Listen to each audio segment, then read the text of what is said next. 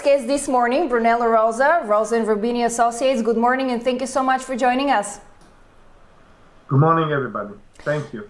So we do see a great enthusiasm, which is pretty normal. Uh, I'm talking about the enthusiasm that Mario Draghi brought to um, European markets, specifically when it comes to the bond market and, of course, equities, mostly Italian equities, which are totally outperforming uh, their European peers. I was wondering, how long do you think this euphoria might might go ahead, and do you think that the European standing of Italy has changed?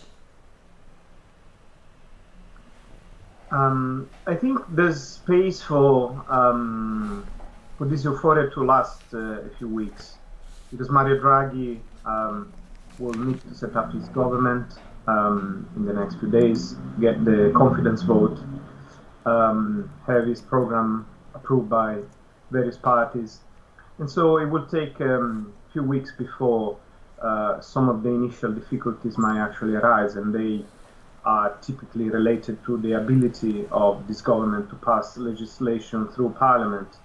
So, um, for at least uh, two or three weeks, this is not gonna happen. And and you know what the problem is if this is a government of national unity, as people say, uh, it means that there will be um, representatives for from all parties, and these are parties that have fought each other for the last. Uh, few years, if not decades, and therefore the positions are going to be quite uh, distant and far away. So there might be the risk of um, paralyzing vetoes in Parliament. And uh, if that's the case, this is when difficulty is going to start arising. But again, this is not something that we foresee happening in the immediate future. Vis-a-vis the Europeans, of course, is a very great uh, side of relief to see that Mario Draghi is in charge, that Italy confirms its pro-European stance and position, and that um, even Lega, apparently, is somehow renouncing to his um, most drastic um, anti-European positions. That, as a system, system-wise for Italy, is a net positive. Yeah, that's for sure. On the other hand, um, I was wondering for, for how long we can see um, the spread at 94 basis points and, and what's the target at this point? What are you expecting?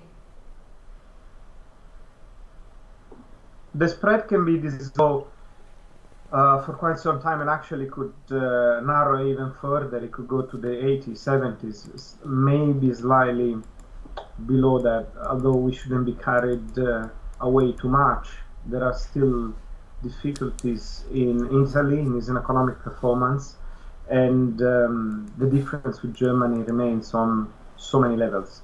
Therefore, um, we should be aware that uh, some positive spread between German Bunds and Italian BTPs is warranted by the fiscal position, by the difference in uh, inflation, by the difference in growth potential and effective growth. So um, uh, we should be careful and not be um, carried away uh, too much.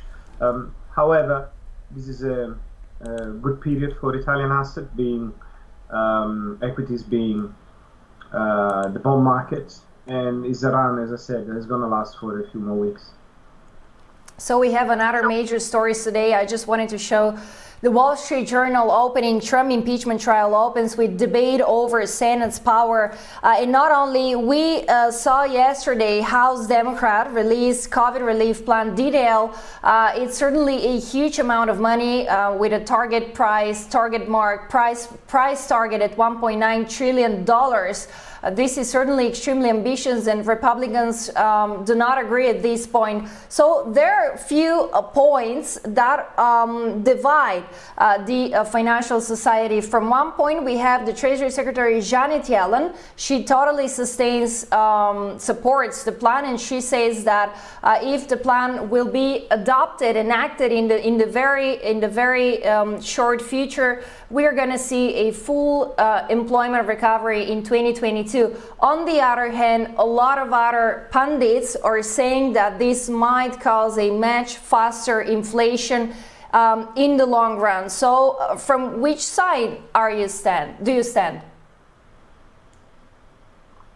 Um, yeah, these are two separated uh, issues: the impeachment and um, fiscal stimulus package.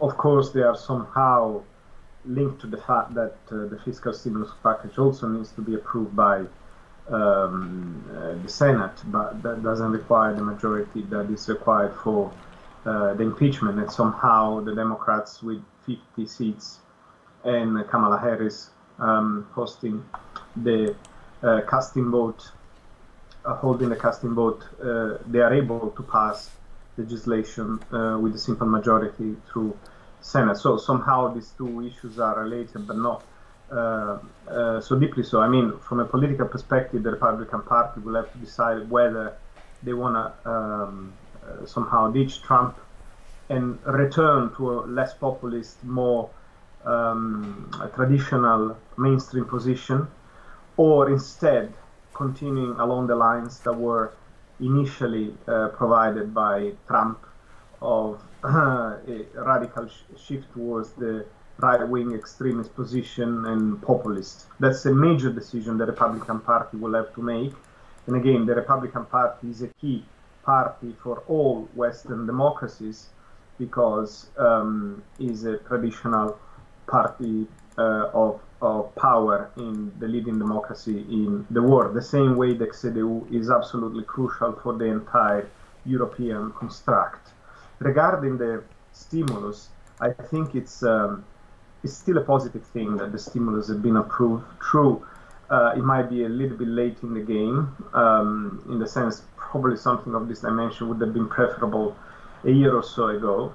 Um, uh, might not be uh, uh designed in the smartest possible way. Uh, its um, reliance on full transfers of money to people that perhaps don't even need them uh, might not be um, totally uh, shareable in, in, terms of content, but in the end, the uh, US economy was severely hit. We are still in the middle of a pandemic. A lot of people are suffering, especially for the low to medium income uh, uh, social classes, and therefore, definitely help is needed for those people.